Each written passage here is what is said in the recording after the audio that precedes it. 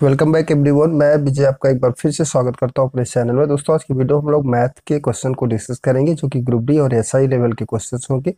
Other exams के लिए भी बहुत ही महत्वपूर्ण क्वेश्चन है तो प्लीज़ वीडियो के साथ अंत तक बने रहे।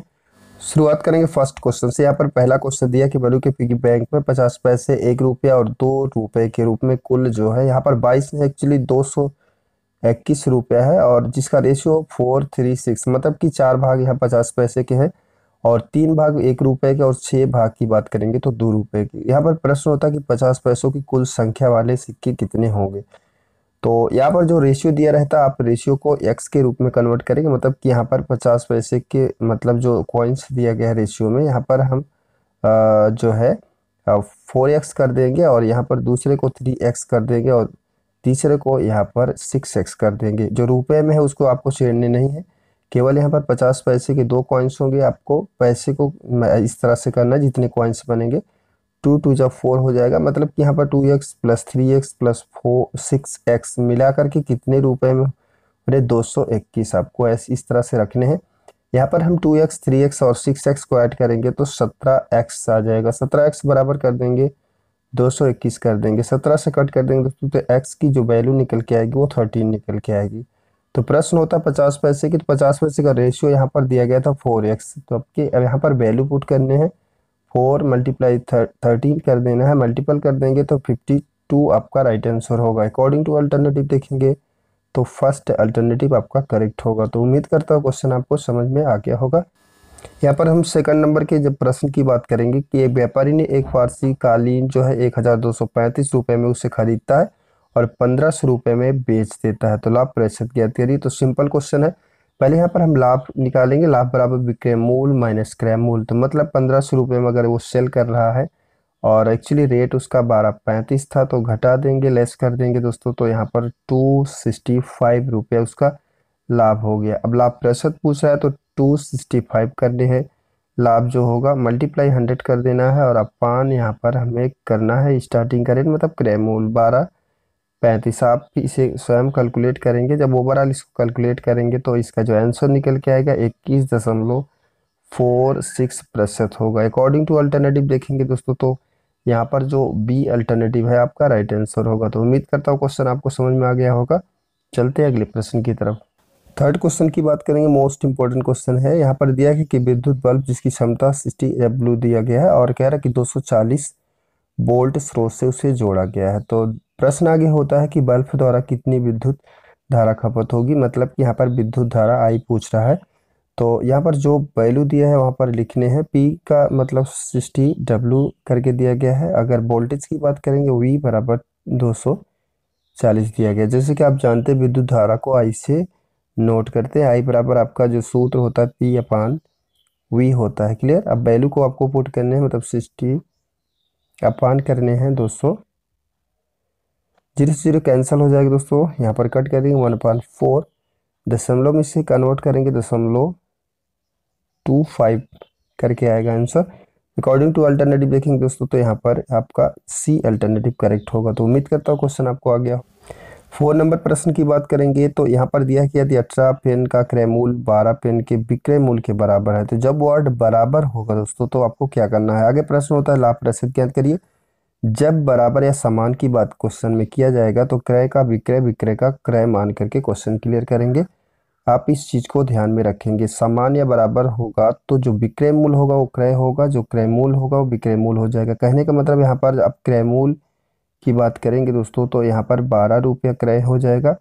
अगर विक्रय की बात करेंगे तो यहाँ पर अठारह रुपया होगा। मतलब कि यहाँ पर बारह में रुपये हम अपने खरीदा, अठारह में सेल कर दिया, बेच दिया कोई चीज़ को तो यहाँ पर छः रुपये आपका बेनिफिट के रूप में होगा। तो आप प्रतिशत क्या करना है? सिक्स जो लाभ होगा, गुड़े हंड्रेड करने हैं और यहाँ पर क्रय मूल मतलब कि आपका ट्वेल्व मान रखे हो, छः से कट कर देंगे टू टाइम जाएगा इसको टू से कट कर देंगे तो यहाँ पर जो है फिफ्टी आपका आ जाएगा। अकॉर्डिंग टू अल्टरनेटिव देखेंगे दोस्तों तो यहाँ पर सी अल्टरनेटिव आपका करेक्ट होगा मतलब फिफ्टी परसेंट आपका राइट आंसर है।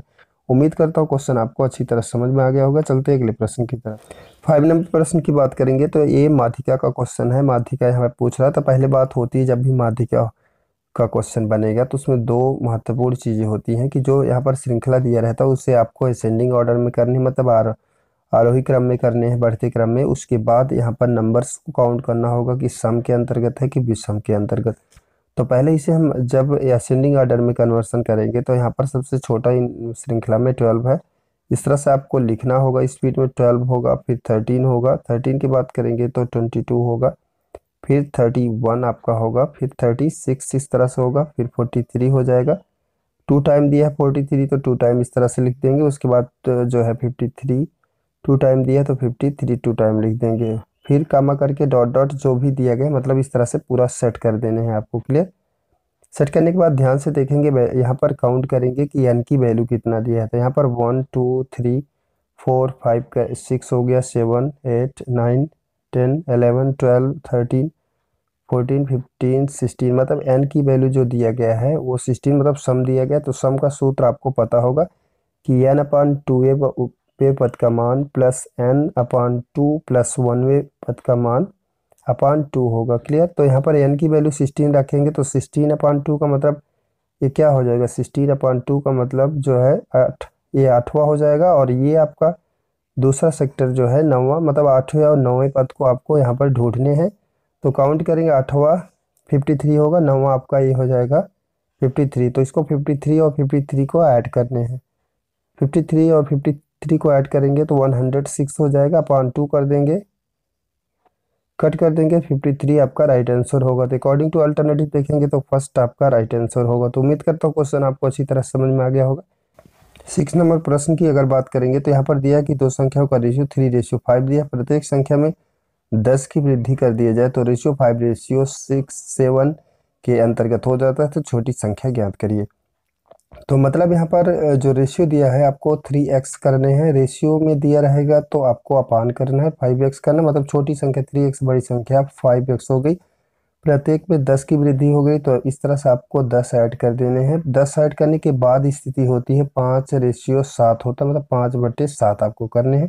क्रॉस मल्टीपल कर देंगे दोस्तों तो इक्कीस एक्स हो जाएगा प्लस यहाँ पर सत्तर हो जाएगा, बराबर करेंगे दो, इस तरह से फाइव का मल्टीपल करेंगे क्रॉस तो यहाँ पर ट्वेंटी फाइव एक्स हो जाएगा प्लस जो है फिफ्टी हो जाएगा। यहाँ पर जो है कैलकुलेशन करना है तो ट्वेंटी वन यहाँ पर एक्स हो जाएगा माइनस ट्वेंटी फाइव एक्स बराबर कर देंगे।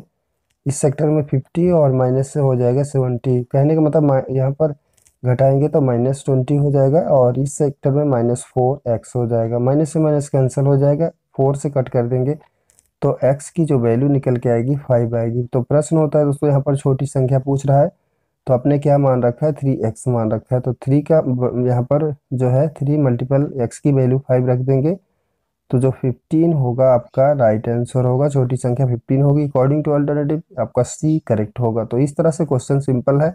आप कर सकते हो। तो उम्मीद करता हूँ क्वेश्चन समझ में आ गया होगा। चलते अगले प्रश्न की यहाँ पर प्रश्न नंबर सेवन की अगर बात करेंगे तो छः हज़ार तीन सौ इक्कीस में से कह रहा कि न्यूनतम संख्या क्या घटाई जाए कि प्राप्त संख्या चौदह से पूरी तरह से विभाजित हो जाए। तो कहने का तात्पर्य होता है कि यहाँ पर हम फोर्टीन से चौदह से पहले यहाँ पर डिजिट जो दिया गया है छः हज़ार तीन सौ इक्कीस, यहाँ पर भाग देंगे। भाग देंगे दोस्तों तो फोर टाइम जाएगा। तो फोर टाइम जाएगा तो फिफ्टी सिक्स आपका हो जाएगा। लेस कर देंगे दोस्तों।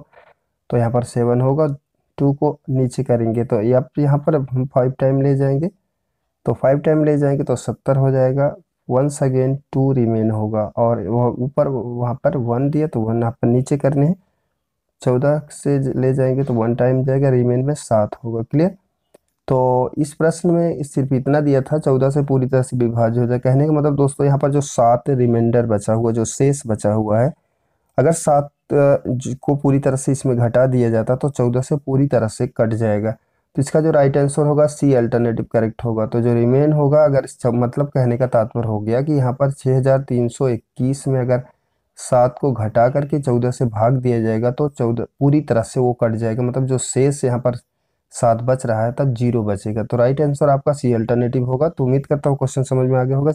बात करेंगे दोस्तों, यहाँ पर एट नंबर प्रश्न की। तो दिया गया कि यदि जो है एक जनसंख्या का मानक विचलन 9.5 दिया गया है तो यहाँ पर प्रसरण ज्ञात करिए। तो प्रसरण का जो सूत्र होता है दोस्तों, इसका जो सूत्र होता है, वो होता है जो है मानक विचलन मतलब मानक विचलन का होल स्क्वायर होता है क्लियर तो यहाँ पर आपको 9.5 का होल स्क्वायर कर देने हैं। बस आपका आंसर हो जाएगा। तो दो बार यहाँ पर मल्टीपल कर देंगे तो जो है आपका नाइन ज़ीरो, उसके बाद point two five right answer होगा। अकॉर्डिंग टू अल्टरनेटिव देखेंगे दोस्तों तो यहाँ पर बी अल्टरनेटिव आपका करेक्ट होगा। तो इस वीडियो में मैंने ये क्वेश्चन प्रैक्टिस करवाया। वीडियो अच्छा लगे तो प्लीज़ लाइक से सब्सक्राइब करना ना भूले। मिलते अगले वीडियो में। Thank you for watching